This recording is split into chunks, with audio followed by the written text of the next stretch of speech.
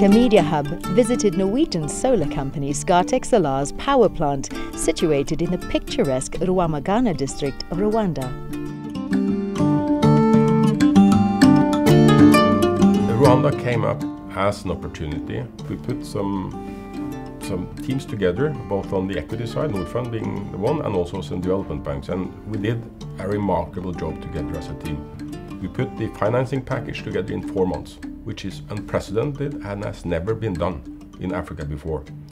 And then we spent four months you know, building the plant, and it was up and running nine months after we actually discovered this business opportunity.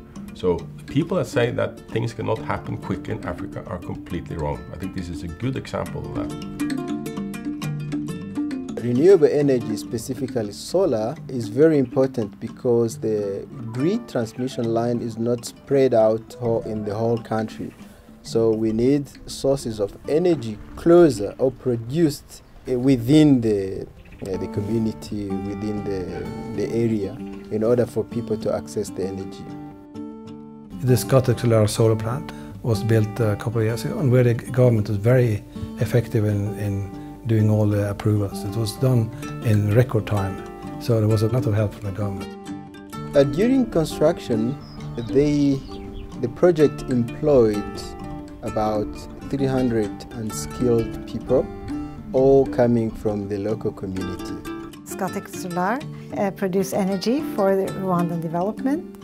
They are a profitable company and they do contribute to uh, developing the local community where they are. Scatec Solar is really making a difference with their solar investments in Rwanda. They make a difference to people who get access to energy, but also to the climate, because we really need the growing economies of the world to grow without the use of coal. We need to make that growth green. I believe that Scatec Solar is really providing the future when it comes to Africa's great energy demand. When panels are covered by dust, it will obviously not produce enough power. For washing panels, we didn't want to, to bring the like big big truck with a tank, and we are using some the local peoples uh, to with the bicycles and filling the, the tank the water that they are getting. Scatec Solar, it's, um, uh, it's a proactive company. It means everything is in order. The fact of just having only Rwandans working on these particular projects, it shows that the, the, the house Scatec Solar entrusted us, okay, to manage the site. Using available land on the plant, Scatec subcontracted local farmers to grow bamboo, mango and pineapple plantations for the community. We're involved in the plantation of mango trees, uh, 5,000 mango trees. Company yanjye igamije kubungabunga ibidukikije. Ascatek Solar niyo yampaye akazi ko gutera mu mirima y'imyembe urubingo na vetiver no mu nanasi.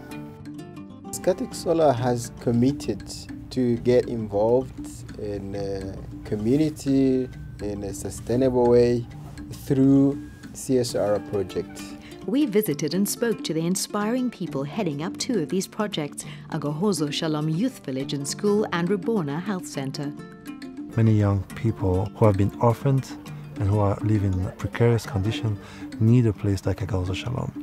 And so having a program like Scatec that um, that also works at, I would say, at national level as a partner is also something good, I would say, for the sustainability of this village. And maybe we probably need more, more of that. This is Scatec Solar. Uh, we contribute in our many service uh, day and night.